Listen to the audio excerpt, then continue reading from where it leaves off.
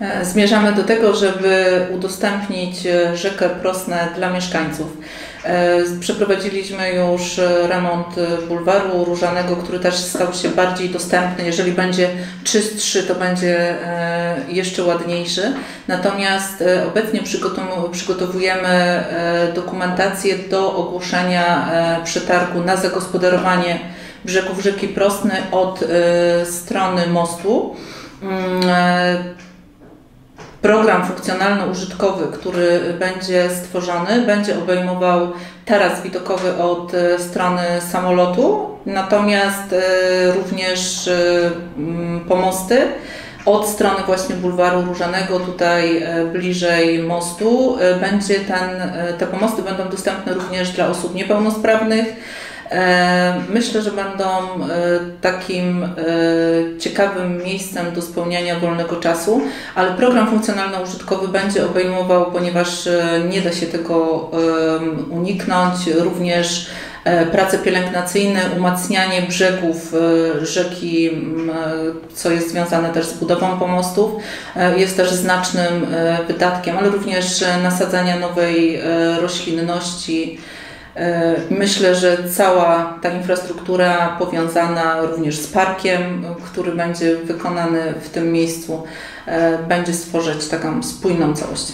Czy tam na miejscu należy spodziewać się, że później, jeżeli to już doszłoby do mhm. realizacji tego miejsca, czy na przykład gmina, bo takie zapewne pytania mieszkańców będą, czy tam będzie można napić się kawy, y, wypić tak zwaną lemoniadę, orężadę, bo oczywiście jeżeli oglądamy jakąś taką przestrzeń zagospodarowaną nad Wisłą w Warszawie, no to nie wyobrażam sobie tam na przykład budki z lodami i właśnie takich rodzinnych chwil, więc czy to jest prosta sprawa, ale taka, no, która gdzieś ludzi przyciąga, tak? Na, na tereny, gdzie są rzeki, gdzie są jeziora, y, jakieś stawy, więc czy później na przykład jakiś podmiot będzie mógł wydzierżawić jakieś miejsce, czy coś takiego w ogóle Państwo myślą o tym?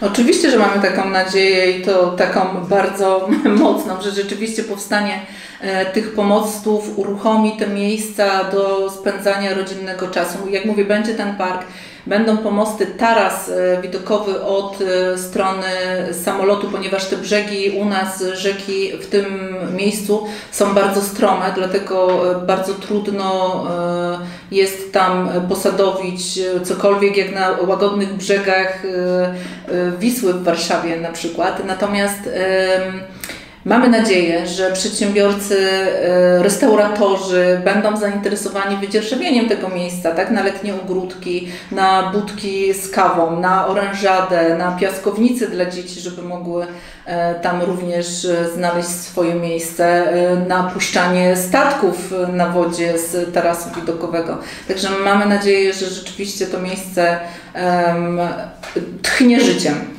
Oczywiście od y, planów do realizacji zawsze musi upłynąć trochę czasu.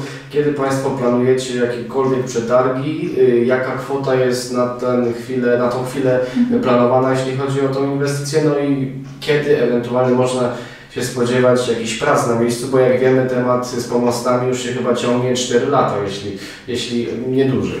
E, zgadza się. E, były już chyba cztery przetargi e, na poprzednią koncepcję pomostów, które nie przyniosły rezultatów. Natomiast w budżecie tegorocznym mamy wpisane 600 tysięcy na zagospodarowanie brzegów rzeki Prosny.